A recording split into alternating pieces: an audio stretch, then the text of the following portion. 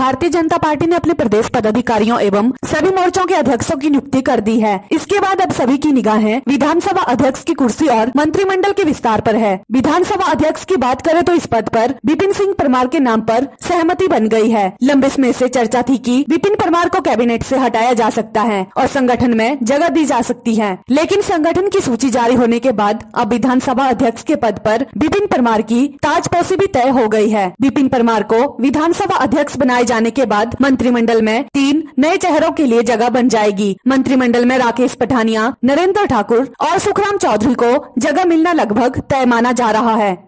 कोई फैसला हो पाया सर? मैं आपको सबसे पहले आप सबको ही सूचित कर रहा हूँ इस निर्णय का।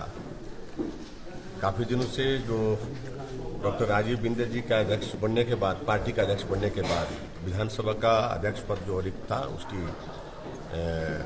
अब अगली प्रक्रिया जो है, उनके चुनाव की जो होनी है। कल नॉमिनेशन होना है। और अभी वीर सिंह परमार जी विधानसभा के अध्यक्ष होंगे। कल गवर्नर एड्रेस के पश्चात अध्यक्ष के नॉमिनेशन की प्रक्रिया हम शुरू करेंगे।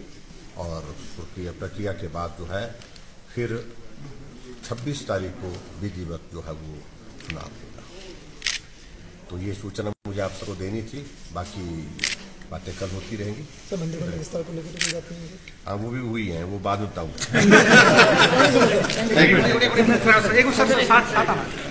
पीएलटीवी के लिए शिमला से ब्यूरो रिपोर्ट